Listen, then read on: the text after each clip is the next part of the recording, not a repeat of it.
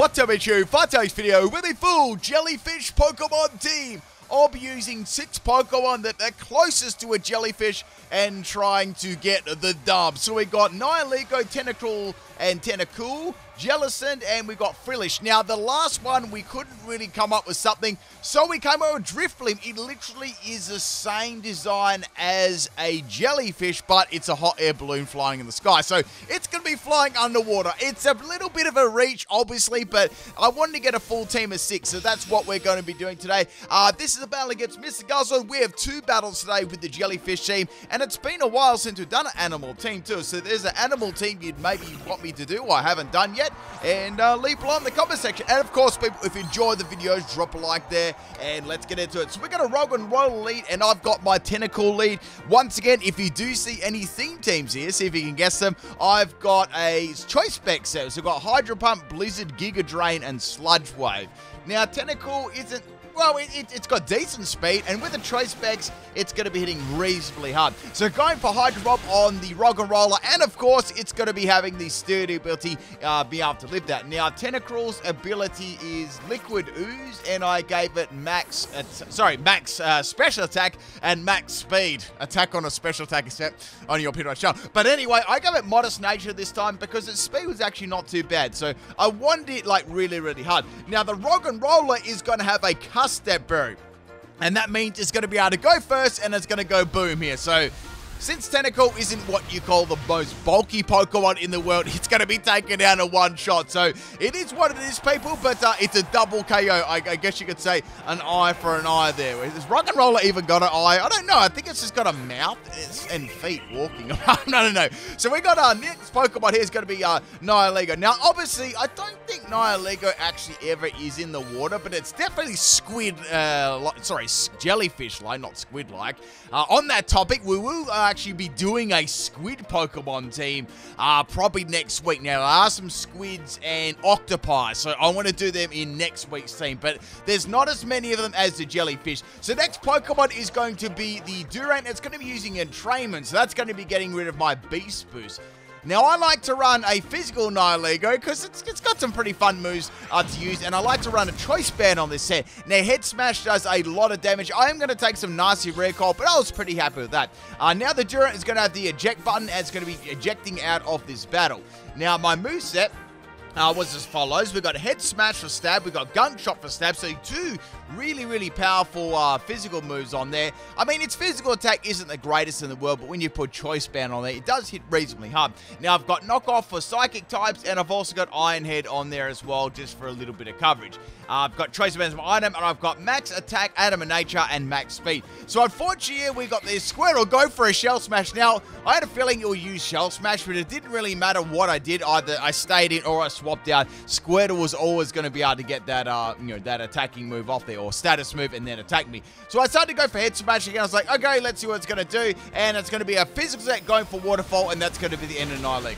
It's fine. It, it's all good. I can easy swap a Pokemon afterwards, right? And, uh, you know, that Durant's still around, so it might try that entrainment again, but this time, oh, hopefully we'll be ready. So Jellicent is going to be coming in here. I'm fully, uh, you know, probably prepared for this Squirtle, because Squirtle doesn't have much to hit me with. Uh, I know its physical set pretty well. So I've got a Jellicent here. It's a Choice Scarf set. We've got Water Spout, Shockwave, which is pretty cool. We've got Energy Ball and Trick. So I've got Max Speed, Timid Nature, and Max Special Attack, and I've got the ability Water Absorb. So, you know, Waterfall is going to be completely nullified. So we got the Squirtle going for Outrage. I was like, damn, that did a lot of damage. So even if I did swap another Pokemon, like one of them definitely would have probably nearly got wrecked by Outrage there. So that's going to be the end of Squirtle with the Energy Ball. And yeah, I'm, I'm glad to get rid of that Squirtle. I didn't want to get swept by that thing. Next Pokemon is going to be the Durant. Now I was like, well, I went for Energy Ball.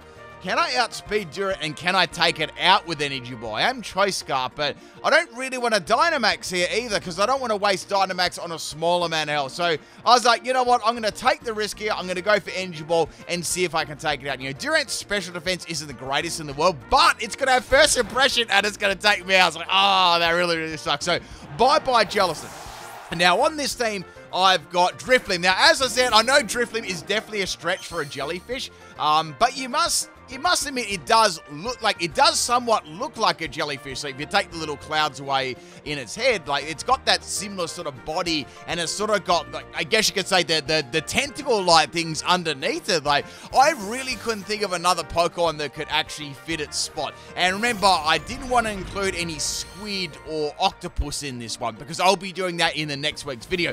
So this is a pretty interesting set. This is a flame, uh, sorry, Flare Boost Flame Orb set, and I've got a 100% chance of air cutter crit. Now, I was being a real, I, I, I, was, I was being a little bit of a smart ass. I was like, well, Stone Stonjourner has got like two special defense. I wonder if I can take this out and it's going to live there only just, and it's going to take me out the heavy step. I should have just gone for a Shadow Ball, but I was really trying to troll hard there. It almost worked, but Stone Stonjourner, obviously, the only reason it lived that because it was not very effective. But uh, that's how it goes. The other uh, moves I had on there were Clear Smog, and I've got Clear Smog on there purely to boost my special attack in Dynamax. And yeah, Shadow Ball is the other move. So I've got this Physical Tentacruel. Physical Tentacruel is actually pretty dang good because Tentacruel's got a lot of speed. I've got Cross Poison, Sword Dance, Waterfall, and Headbutt. Headbutt's more of a troll move on there. And, uh, you know, I could actually confuse the opponent by going Dynamax if I didn't already do Sword Dance. And uh, this is going to be a Scope Lens set. I've got Clear Body as the ability. So obviously any Intimidate Pokemon coming in there won't drop my attack stat or anything like that. And I can, you know, try and get a sweep here. So Heavy Slam does a lot of damage from the uh, from the Stone Edge, and I can go for Waterfall, and that'll easily be able to take it out. However, I was like, well, this could be a nice little opportunity for me to go for Dynamax here and get the uh, you know the rain happening on the field, and that'll be pretty powerful. And then I'll have at least like one or two more turns in Dynamax to do some like really really good damage. Plus, I've got Sword Dance up, so that's a plus to an attack already. Now, Cross Poison is a good chance of actually critting too because I've got Scope Lens. Like, so it's uh with with the Cross Poison and the Scope Lens, it's a you know two out of three uh, chance of actually getting credit, so it's reasonably good. So go for Dynamax Tentacruel here. I've always liked uh, the Shining on Tentacruel as well. Looks really, really good. And uh, one time I was watching someone play Pokemon too, and you know, they didn't really uh, didn't really know a lot about Pokemon, but they were sort of surfing around in the water. It was in Generation 3, and they just bumped into a shiny Tentacruel full odds. I was like, Tentacool full odds. I was like, wow.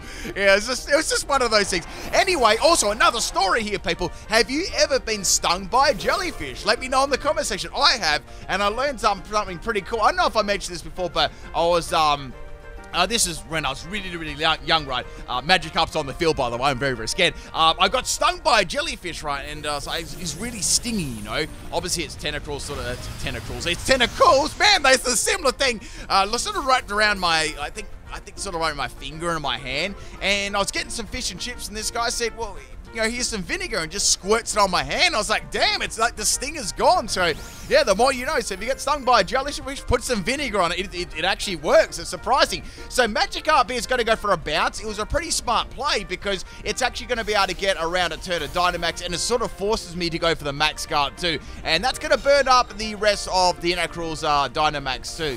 Now, I've got uh, my Tentacruel with max speed, but Magikarp, I think this actually might be uh, this might be Rattle, because this should be able to outspeed me with Swift Swim like easily. But uh, I'm going to go for a head buddy and I outspeed it. So I say the Magikarp was rattled, so that was interesting. So bye-bye Magikarp. I thought they may try and go for a flail. So next Pokemon, or that was probably the move coming, I guess. So next Pokemon's going to be the uh, Durant. Now I know that I can leave a first impression. Uh, Tentacle's got some good bulk to it, and I can just finish it off with any move. I can go for Waterfall, uh, I reckon even Headbutt will take it out here. So instead of going for First Impression, it is going to outspeed me, and it's going to go for Entrainment. So getting rid of my Clear Body and giving me Truant, which sucks. So that means, you know, I'm going to be loafing around the next turn. Like, Tentacruel's going to be eating uh, a nice little loaf of, uh, I don't know, sea cucumber bread. So uh, last Pokemon we got here to come out. Oh, the rain is uh, stopped too, so my Waterfall won't be as powerful. Uh, that Pokemon is going to be a Trapinch. So this turn, I'm to be on trance. It's like, okay, do I swap here or not? I mean, I've got another Pokemon left. And I was like, you know what? I'm going to actually leave it in because my last Pokemon actually I feel will be able to deal this. Well, hopefully, you know, that was the idea. So, uh, Trapinch is going to go for a Crunch.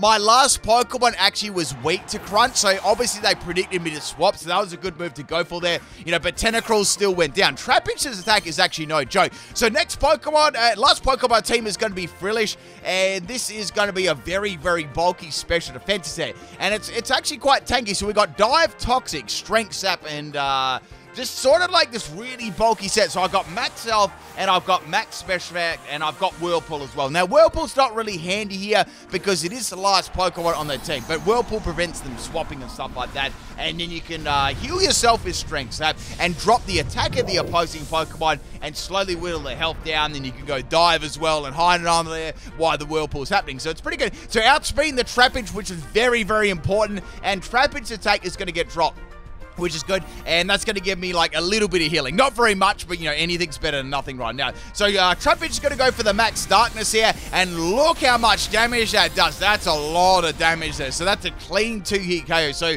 I really either my options are to go for the strength sap again or go for the dive. But if I go for dive, then I'm probably not going to be able to take that out. There's no way. Like this doesn't have like any EVs in special attack or you know attack at all, and you know it's it's not going to be very uh, powerful coming from a Frillish of all Pokemon. So I decided to go for another Strength Sappy. I thought, well, I'll drop his attack in and I'll get some healing up, and then after that I might be able to go for the attacking move. So getting lots of my health back there, or I mean all of my health back there, and now the Trapinch is going to go for the Max Quake. So Max Quake is going to be super effective, but it is going to actually boost its special defense, and it's also going to be stab as well. So that actually did a lot of damage, considering I used Strength Sap on Trapinch uh, twice. So that's going to, what, that's a life orb, man, that's a life orb Trapinch, damn. So I thought, okay, one more turn of Dynamax. Instead of me going for like Whirlpool or Strength Sap again, how about I go for dive, and that'll mean I'll hide underneath the water, and then the Dynamax will run out for the big shiny Trapinch. that looks awesome in Dynamax. Look at its big mouth. Actually, that's a really good representation of uh, Chain Chomp. I think that could be my favorite on the team. So anyway, yeah, I'm going to hide underneath the water. The Trapinch's attack is going to miss, obviously, because I'm underneath the water. And then once Dynamax runs out, I'll hit the Trapinch with dive, and it won't be in Dynamax. And Trapinch isn't really that bulky at all. So any water type move is going to do like a lot of damage. And Dive actually one shots it there with a crit. Now, I got to say, I think that crit did matter. But I believe it definitely was a two hit KO. I, I very much doubt the Trapinch would have been able to get around me there without a crit. But uh, a really, really cool thing team there. Can you guess what it is? Leave it in the comment section below. And let's get on to uh, battle number two. Uh, this is a battle against Pulsar, and we're on the uh, the water field today. Now, I think this was a theme team as well. Uh, I actually, well, well, I have to, I think, yeah, actually was, it was like a double theme team. But uh, I'll, I'll, point out the obvious one first. So we're going to Trubbish lead here. I've got my Tentacool as the lead. As I said, this thing was my lead in most of the battles. And, you know, people didn't really expect it to hit, like, super, super hard. Now, this could also work on Dynamax, but the thing about it is, you know, its speed. I mean, its speed was okay, but, you know, it lacked the speed at Tentacruel. So you could Dynamax it and, you know, go for the uh, Max Ooze and stuff like that, but eventually it would get outspeed, and, you know, it's pretty easy to one-shot a Tentacool. So that's going to be the end of Trubbish first go. Next Pokemon's going to be Weezing. So uh, there's going to be, like, all poison-type Pokemon, but I want you to, I want to see if you can guess what the actual theme tune is. And that that's not the theme tune. That was just a little hint. So uh, Weezing's going to come out here. I was like, well, Weezing's special defense isn't that great with choice specs, man. This could actually one shot, you know. But Weezing takes that rather well. I got to say, I believe that Weezing was was Assault Vest. Um, like, because choice specs on Tentacool, that should have taken out, or you know, almost taken it out. So I believe that's an assault vest Weezing or, you know, crazy investment in uh, health and special So firing off two Hydro Pumps in a row, you wouldn't read about it, and that's going to be the end of Weezing. So we're going to go for a Tentacool sweep here, and I believe I actually haven't done a Tentacool sweep on my channel before. I've always tried to do like a bulky one, but I know it always like ended up fading because I'd either get critical hit or something like that. But uh, I might be able to try and come up with a new set with Tentacool. Haven't looked at it for a little bit. So next Pokemon's going to be Smelly Trash, and it's going to be Garbodor. And on top of that, it's going to be G-Max Garbodor. Now, as I mentioned, I was running max speed on Tentacool, but I had to use Modest Nature instead of Timid. So, you know, a Pokemon like Garbodor, you know, can actually have decent speed about it too. And I was like, well, I'll be able to get one Hydro Pump off and, you know, I'll, I'll up that. But it actually outsped me and it's going to get a Max Knuckle off too. It's like, oh, oh, this is bad. So Max Knuckle is going to take Tentacool out. So this is a max speed uh, Garbodor, and it's got a plus one too. So That was actually really bad. So this thing is actually setting up me. So bye-bye Tentacruel. I tried for the uh, the choice spec sweep. Next Pokemon's going to be Nihilego. I know I won't be able to you know, one-shot this, but if I can just hit it with a powerful uh, head smash, That'll do pretty well. Like, I thought about going for knockoff for a bit. It's like, nah, let's just go for stab with Choice Band. It should do some really, really good damage. So Head Smash does great damage there. Very, very good damage. Absolutely happy with that. And uh, now we got a Max Overgrowth here. So, like, okay, Max Overgrowth. So, physical move. I'd say that this is... I'd say that that Garbodor has got Drain Punch Seed Bomb. That would be its physical attacks. Like, they're the physical attacks that it gets that would work best on a physical, uh, you know, set there. And maybe some other coverage move. I say it's got a poison type move as well, like its G-Max uh, Malodor move. So it's going to get a double round of uh, recovery there from the Black Sludge and the Max Overgrowth. I was like, okay, we got Jellicent here. Now, I know that Jellicent's going to get wrecked by Max Overgrowth, but I do have a Choice, uh, Choice Scarf Water Spout. And that will do a lot of damage. So since it is a sweeping set, I mean, I don't expect to take it out, but I expect this to do some reasonable damage and put it on a low amount of health. So here comes a water spout, and that was pretty damn good damage. I That was actually really, really good. You know, Garbodor's got a lot of natural bulk about it too. So here comes the Max Overgrowth, and that is going to be the end of the Jellicent. So this thing is uh, sort of like uh, reverse sweeping me at the moment after my Tentacool. So a little bit uh, more recovery from the Black Sludge and the grassy terrain there too. Uh, next Pokemon I'm going to swap in here is going to be Drifblim. So they, well, they won't be able to use any fighting type moves against this. If they use a grass move, I'll be able to live that as well. In fact, this is actually quite a good Pokemon to swap in. So I've got my Focus Energy set. Now, since it does have a plus one in attack, I was a little bit weird about going for Focus Energy. Like, you know what? I'm just going to go for Air Cutter, and I'm just going to get rid of this Pokemon from the field. So Air Cutter's going to land, and that's going to be the end of Smelly Trash. I didn't need a Critty Ring like that. Uh, it's all good. I only a little bit of help. So now my Flame Orb has been activated, and Stunky is the next Pokemon to come out here. Not often you get to see a Stunky used in a battle at all. Not a bad shiny too. So I thought, well, I could go for Focus Energy, or I could just go straight up for Air Cutter. I feel like that's going to do a lot of damage anyway, because I've got Flare Boost now, and that's, you know, that's pretty powerful on Drifblim. So now we got the Stunky going for a Sucker Punch. I thought, I, I knew that I have a chance of having Sucker Punch, but I had to attack this thing to take it out, right? So I went for Air Cutter, very good damage, but Stunky somehow just lives. I was like, wow, it just it must just be like, maybe it's like max health. I actually, I want to say it's either max health or it's got an Eviolite attached one of the two, or a combination of both. So I can go for any move. I was like, you know what? I'm going to try and cheese this thing. Let's see if I go for Focus Energy. I might be able to get around Stunky. Now, the only problem here is I've got the Flame Orb, so as I tried to get around this, uh, the Sucker Punch with the Mind Games, I am actually going to take damage myself too. And I've, I haven't got much health left, so like, man, I, am just going to go for attacking move this time. Maybe they'll expect me to go for it again. But once again, since I had such a small amount of health, I sort of had to rush attacking this thing. Like, like if I had full health, I could have gone for Focus Energy for a lot longer, you know, and wouldn't have had to worry about that. I could have gone for Dynamax too, but that would have been a waste at the same time. So I just went for attacking move. Stunky's going to go for a Sucker Punch. And, you know, that's the end of my Drifblim too. I don't believe that was choiced at all. I mean, it could have been max health and max Stack too. That could have been another thing. So anyway, we're going to go into Tentacruel here, and Tentacruel is going to be able to outspeed this if it doesn't go for Sucker Punch. Sucker Punch isn't super effective anyway, so I'm not actually that worried. I thought, well, I could go for a Sword Dance here, but maybe they'll expect then go for another move. Now they're not going to go for uh, the Sucker Punch, so they definitely weren't choice, and I'm just going to take this Stunky out with a nice little headbutt, so bye-bye Stunky. Now we got two more Pokemon left. The next Pokemon to come in is going to be a Skuntank. So it's Stunky and a Skuntank. Not often you get to see, you know, both of those Pokemon on one team, you know.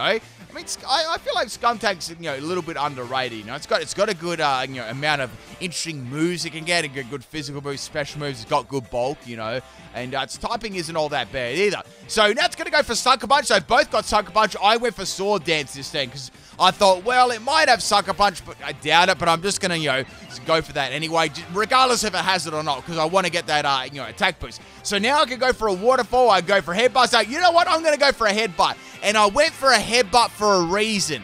And I'm going to give you a clue to the theme team they're running. I went for Headbutt for a particular reason. That's all the clues I'm going to give you. So anyway, they went for Sucker Punch. I couldn't get my flinch, which sucked. And they just kept going for Sucker Punch over and over again. I just went for Waterfall there because I knew they'd be able to get around it. But with Headbutt, I need to go first so I could try and get that flinch chance. But bye-bye Skuntank. Last Pokemon we got here is going to be Koffing. So not often you get to see Koffing on a team with a Weezing too. So a pretty cool theme team here. So it's got the uh, neutralizing gas. I can go for Waterfall and take this out. I mean, I've got Dynamax who's still up my sleeve. And uh, now I'm going to go for Waterfall on the Koffing. And it lived it. Lived actually very, very well. Obviously, it's the Eviolite's hat. Now they're going to go for Clear Smog, removing my Sword Dance here. So that would have been bad if I went for another Sword Dance and then got Clear Smog afterwards. I would have had to go for a Dynamax. But now I can outspeed the Koffing, and the next Waterfall is going to be able to take it out. And that, my friends, is both the battles with the Jellyfish Pokemon team. Hope you enjoyed it. Some really, really cool Pokemon on uh, not only my team, the opponent's teams as well. I'll be back with another video tomorrow, and peace out.